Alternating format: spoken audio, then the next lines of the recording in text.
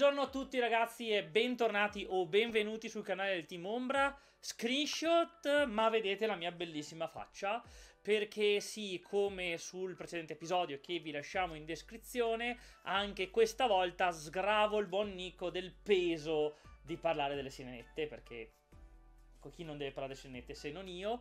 Quindi solo per questa volta vedrete la mia bellissima e incommensurabile faccia a parlarvi di, di Triangolo delle Bermuda clan che ha ricevuto due wave di supporti eh, da GBT6 a GBT9, quindi dove stiamo analizzando noi in questo periodo qua, che ha cambiato parecchio gli equilibri al suo interno.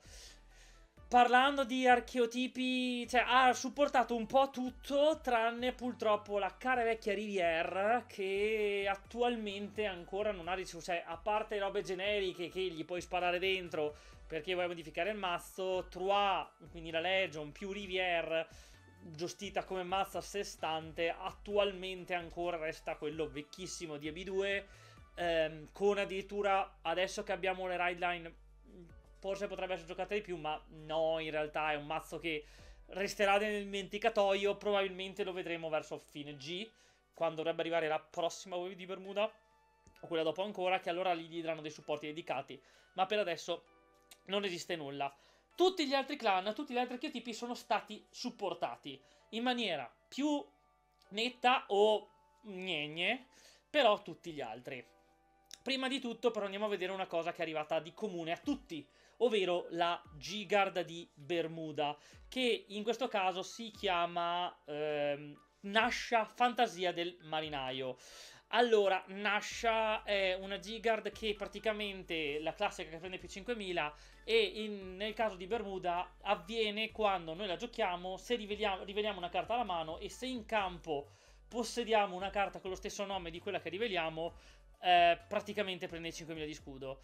Non è eh, una carta così mm, forte, diciamola così, per Bermuda purtroppo non, eh, non è praticamente eh, così meta break, cioè non è così una carta che dà una mano sinergica a Bermuda come tutte le Gigar che vedremo da qua in poi, specialmente Leona o eh, quella che addirittura si può giocare più volte, Emily, perché si autoflippa. Quindi eh, non è proprio la Gigard più grande, addirittura è una Gigard che funziona un po' a sinergica con Bermuda, perché Bermuda vuole rimbalzarsi il campo e funziona mostrando carte che abbiamo in campo dalla mano. Quindi è un po' quella duo, tra virgolette, ma neanche tanto, perché comunque anche in duo non è che abbiamo giù campo di solito. Quindi Gigard buona, partirà spesso, sì, ma tante volte andremo a liberare il Vanguard stesso, perché non avremo campo e invece eh, il Vanguard è giù e quindi noi rivediamo quella. Quindi una Gigard buona, ma non la Gigard eh, che Bermuda cercava e aspettava. Invece andiamo a parlare degli archetipi. Allora, io parlerei prima di tutto dell'archetipo che di per sé non ha cambiato nulla, ovvero andiamo a parlare di duo. Duo, quindi l'archetipo che si basa tanto sull'avere tre carte col, con lo stesso nome in mano, ha ricevuto dei supporti, nulla da dire, importanti ha ricevuto Coronet, che è un bittone da 16, detta stretta per il mazzo, perché è un 11 per conto suo quando entra, e se riveliamo tre carte con lo stesso nome prende più 5, quindi in un mazzo come duo è un bittone da 16. Ha ricevuto una Stride, che però è una Stride restender, tra virgolette, che però non è così forte, soprattutto perché non è un restender, ma è una stride out, stride in, quindi esce dalla stride, torna in stride, quindi eventuali trigger non possiamo neanche lasciarli di sopra. E mm, è tanto costosa da tirare, è un po' difficile che vada a partire. Gli altri supporti duo ha ricevuto un, un Heavy Counter Charger in Margiona, Mariona, però mm, non, non ha ricevuto carte che dici duo ha avuto la svolta ha ricevuto delle carte che supportano, che ti permettono di costruire un mazzo se avevi poche carte vecchie. Però di per sé la carta più utile che hanno dato a Duo è una carta che in realtà è utile perché è generica, tra virgolette, che è Kuna. Eh, duo eh, Idol Imperatrice che dice semplicemente che quando hitta, quindi quando colpisce il vanguard avversario, noi riveliamo due carte alla nostra mano il nostro avversario ne sceglie una e ne andiamo a cercarci una copia del mazzo ce l'abbiamo in mano. Poi avrebbe il fatto che se quella carta ha due nel nome canta già uno, ma già di base questa skill generica di se colpisco vado a cercarmi qualcosa nel mazzo è di per sé un'ottima stride per qualunque mazzo e quindi va a supportare bene il mazzo ma non in maniera così eclatante. L'altro mazzo che è stato supportato è di per sé l'Auris, quindi supporti generici per l'Auris. Ha ricevuto l'unico, diciamo, vero supporto che ha ricevuto l'Auris che si può dire verrà giocato è Alteli, Alti, quando viene balzata da più 2000 a due cose. È un 6000, è buona, ma non è così formidabile. Io la sto provando, il Lauris serve per settare le colonne quando fai Olivia, quando fai altre cose, ma eh, non è questo granché, quindi questo è il supporto generico. Un altro supporto generico che però in realtà è fortissimo, ma è fortissimo per tutti, è il Prina, che è la stride generica che hanno dato con GPT-09 e il Prina molto semplicemente funziona come la vecchia stride che avevamo di Duo, di, scusatemi, di Bermuda, quindi che balza due pezzi, ma li balza in act. Quindi noi la giochiamo sul Blastone e ci riprendiamo in mano due pezzi dal campo. Perché è più forte questa che Amoris, che era quella che invece faceva la stessa cosa, però chiamata in stride. Che avendo il fatto che in act noi possiamo prima chiamare i pezzi che vogliamo balzarci per attivare gli effetti di bouncing e in duo ci balziamo le, per esempio le peace per pescare ancora. Uh, in, uh, possiamo balzarci, giocare Emilia, rimbalzarcela per pescare, giocare Shizuku, giocarci qualcosa sopra, cercare 5, se c'è qualcosa, non c'è niente, sul blastone 1 riprendercela in mano. Abbiamo tante tante carte che sapete che Bermuda funziona tanto con gli effetti quando le carte tornano in mano e grazie al Primia noi prima possiamo giocare le carte che vogliamo balzare e poi balzarcele. Quindi è un supporto generico, di per sé nato per l'Auris, ma utilissimo in tutto Bermuda, che infatti si gioca in, per, in ogni mazzo Bermuda perché è molto molto buono. E questi diciamo che erano i eh, clan, sì, le, le, versioni archetipiche che hanno ricevuto dei supporti, ma di per sé il mazzo non è cambiato. Resta quello. Archetipi invece che GPT 6 e 9 ha portato grandi modifiche. Il primo andiamo a vederlo, è la modifica minore, cioè è una modifica, il mazzo è cambiato, ma resta comunque uno schifo, è Coral. Coral ha ricevuto parecchie carte, ha ricevuto un G4 suo, in una Coral G4, ha ricevuto un G1 e un G2 che vanno in combo, tra virgolette, di loro, che sono Lirica e la Rana, perché Lirica dice che quando la giochi guardi 5, ha di una Coral di grado 2 inferiore, e poi puoi caricare una, devi caricare dalla, man, una, dalla mano una carta in anima e la rana ha un effetto in soul. E quindi noi possiamo caricare lei e poi la rana dice che a CB1 si chiama fuori e fa soul charge quindi senza neanche farci perdere la soul. Quindi di per sé noi riusciamo ad andarci a cercare una coral nel mazzo che più che altro è sfoltire il mazzo per poi eh, chiamare fuori il pezzo quindi in realtà non averci fatto neanche il meno 1 in mano.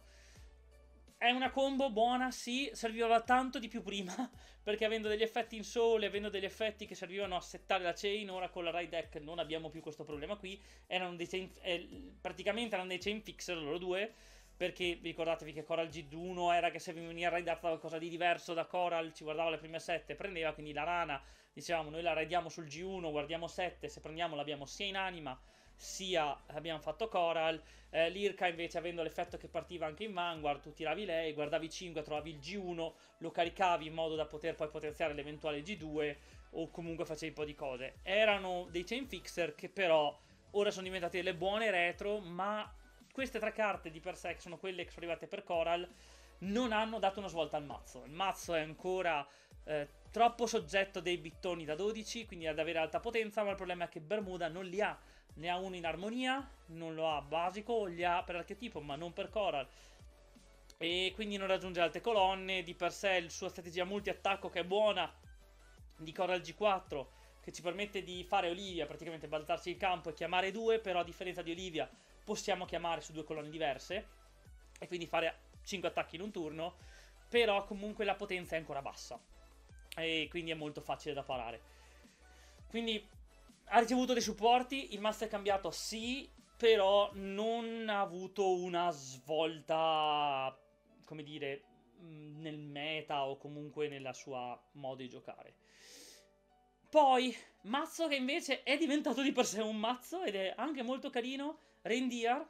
Reindeer ha ricevuto anche lei due delle carte dedicate, che sono praticamente un G2, un G1 e un G3 di per sé, e un altro G2 di per sé. Queste sono le quattro carte fondamentali. In realtà ne ha ricevuto un bel po', però fondamentali sono il G3, G2 e il G1, perché eh, prima Rendiar era un mazzo molto high roll, che non faceva molto a parte che balzare uno, chiamare uno, perché Rendiar quella vecchia, che soprattutto è stata ristampata proprio nel set dove usciva Rendiar G3 nuovo, non è che era questo gran mazzo, era un 10.000 soprattutto.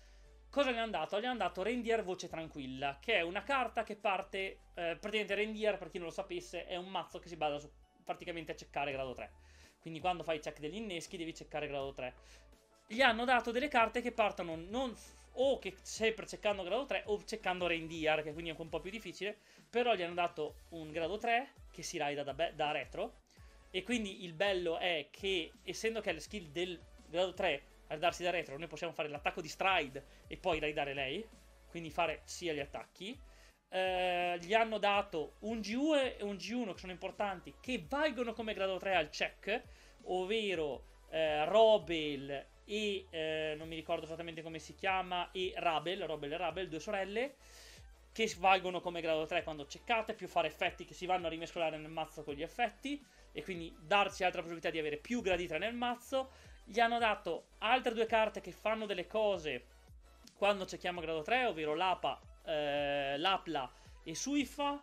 Che Suifa addirittura va a sistemare il fatto che Rendier vecchio era un grado 3, era un 10.000 perché dà più 1000 al Rendier in Vanguard, quindi al Rendier vecchio in Vanguard, facendo diventare anche lei un 11 ha un po' più gimmick la sua meccanica di stapparsi e passare davanti per fare le cose però non è quello l'importante e quindi niente, gli ha dato uno starter buono che ci permette di multi-attaccare ancora in fratte, eh, quindi abbiamo un buon supporto che hanno reso un mazzo che in realtà era un meme, in un mazzo meme sempre, iper high roll, high roll per chi non lo sapesse vuol dire che per riuscire bene devi avere fortuna perché se voi non vedete nei sec nessun grado 3 non fate niente, il mazzo è un mega giallo, eh, però lo hanno reso un mazzo diciamo, mo- per me è molto più forte di eh, Coral e eh, è carino, è divertente, non è nulla di spettacolare, è divertente. Un attimo un po' da masterare per capire bene come mettere cosa giocare per riuscire a far scatenare le skill di bouncing e di funzionamento nel caso cerchiamo grado 3, però non è male.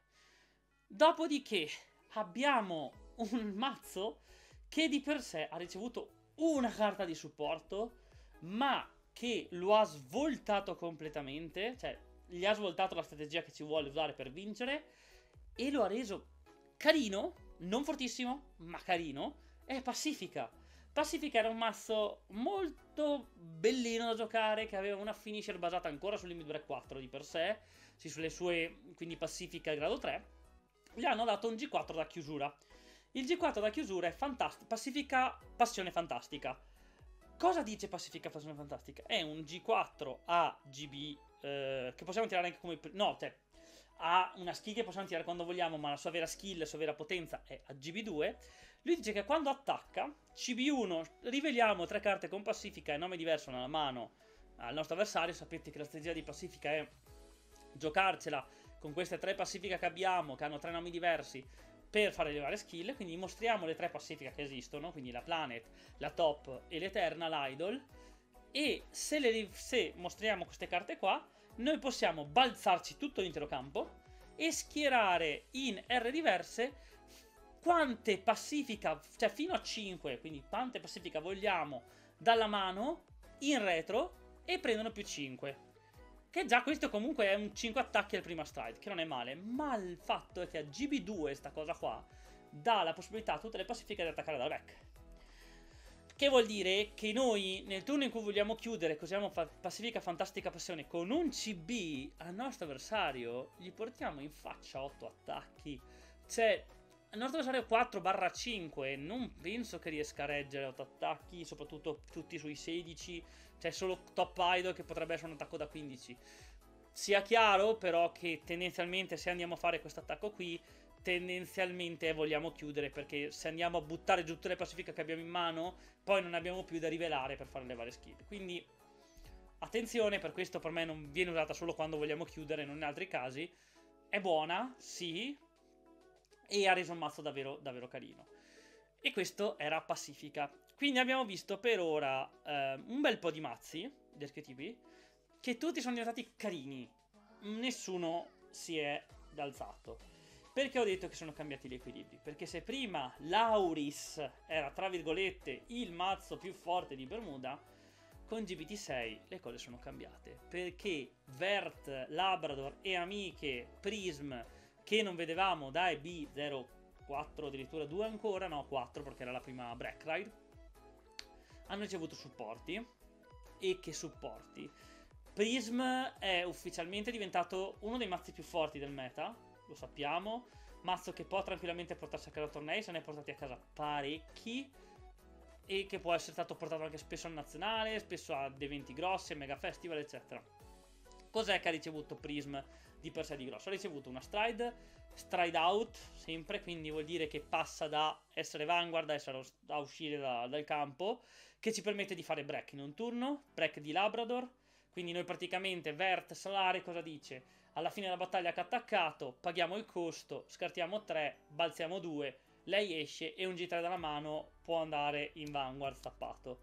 La strategia base di Prism è io ho la Break Ride, quindi Vert, mm, quella vecchia, ci raido sopra, eh, grazie a questo effetto, Labrador, e quindi do più 10.000 a Labrador, riprendo in mano 2, pesco 1, quindi mi sono ripreso in mano il campo, Labrador attacca, richiama giù 3, guadagna crit, faccio in un turno 6 eh, attacchi, di cui 2 di Vanguard, di cui uno crittato. E già solo per quello è forte. Poi gli hanno dato una seconda G3 che è Garnet, che attualmente è un backup, cioè per avere 5 G3 da dare sopra Vert più avanti, grazie a una carta che dovrebbe uscire, che in realtà è bello che era pensata per Lauris, ma in realtà renderà più forte di più in Prism, diventerà il nostro muro difensivo, perché ha la possibilità che se viene balzata una carta in mano a CB1 prendere più 5, noi abbiamo carte che balzano nel turno dell'avversario, quindi diventiamo bulk difensivi, abbiamo Emerald che se viene balzata lei balza altre 2, quindi facendoci più bouncing e depotenziare qualcosa, abbiamo un crit chiamato Clear che ci permette di fare sia mano sia altri attacchi perché se viene balzata CB1 torna nel mazzo. Se abbiamo Vanguard con, con Prism nel nome per chiamare Vert Rosa Clear e chiamarla in retro e poi nel caso se vogliamo riprendercela in mano o se no semplicemente la chiamiamo per fare un altro attacco. E ragazzi Prism Prism è diventato forte. Con pochissime carte di per sé, perché di per sé di nuove ne ha ricevute queste tre, che sono davvero forti, quindi Vert, Garnet, che viene giocata comunque in uno per, Sunshine, Rosa, poi che la nuova Rosa, quindi la Rosa solare, che eh, se abbiamo ha tutto su limit break 4 questo mazzo qui, quindi giocheremo l'Enabler per evitare la cura di quarto per andare a 3. Comunque se un, va- Vanguard con limit break, se abbiamo un Vanguard con limit break 4, qualcosa in mano sul Blast 1 per dare più 3 a 2, è fortissima, quindi Prisma ha ricevuto 4 carte nel totale, 5. E quelle 5 però hanno svoltato il mazzo e l'hanno fatto passare da eh, un mazzo for fun in uno dei mazzi più forti del meta, ripetiamo, non più forti di Bermuda. È un T1, ancora tuttora Prisma.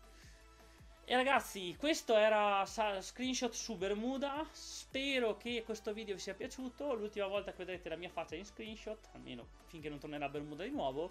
E niente ragazzi, ci vediamo al prossimo video. Ciao a tutti.